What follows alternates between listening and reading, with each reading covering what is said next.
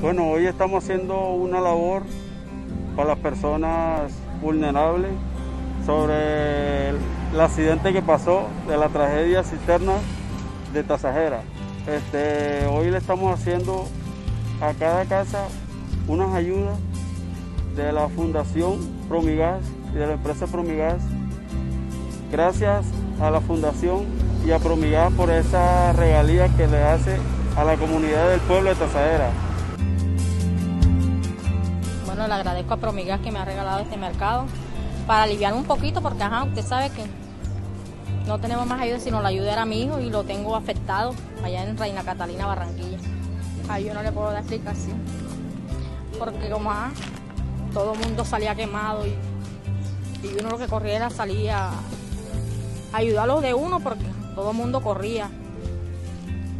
Ese día fue horrible. A todos, nosotros vivimos siete aquí en la misma casa.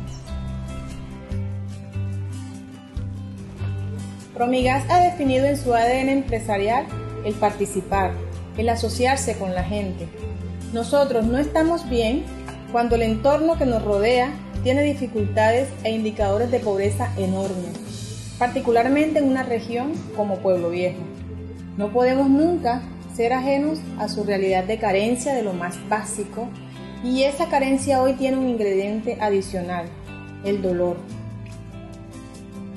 A mí Promigame, gracias a Promigame, me puse una psicóloga por teléfono y me he sentido bastante relajada a pesar que no he visto eso en ninguna parte de una psicóloga hablándole a uno por teléfono. Me he sentido bastante aliviada a pesar de mi dolor de mi hijo fallecido y mi otro hijo que Dios me lo dejó, porque ellos son las ayudas mías en mi casa. Mi hijo era pescador, el mayor, y este es mototaxista. Pues y, en estos días he estado con la psicóloga que, que nos ha ayudado de Promigas. Me ha ido muy bien a olvidar las cosas porque siempre cuando estoy durmiendo es una inquietud que me despierto llorando.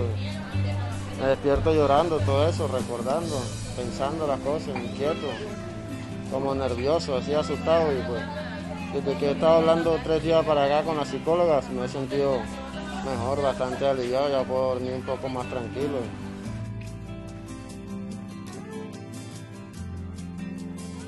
Para Promigas es grato que la comunidad de Tasajera nos reconozca, que sepan que estamos allí para ellos.